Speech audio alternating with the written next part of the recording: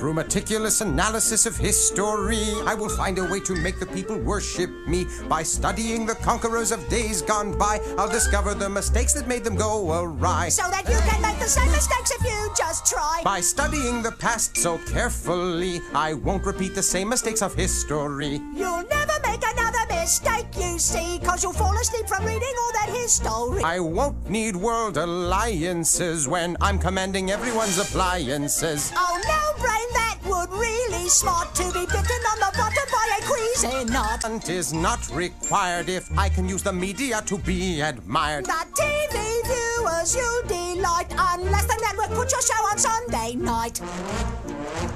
Why pillage like a criminal when I can send out messages subliminal? Why rule like such a reprobate when I can put the world in a hypnotic state? When everybody's in a trance, you can make the people do a chicken dance.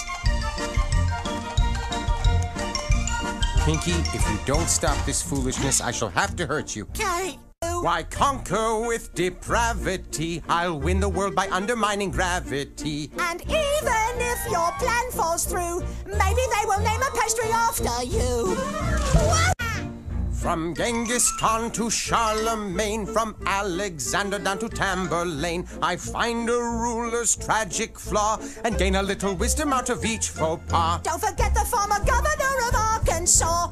That concludes my little rhyme. I hope this lesson wasn't just a waste of time. Well, Brain, I've learned that one thing's true. Every one of them has failed, and so have you. Thank you for that vote of confidence. Now come, we must try to take over the world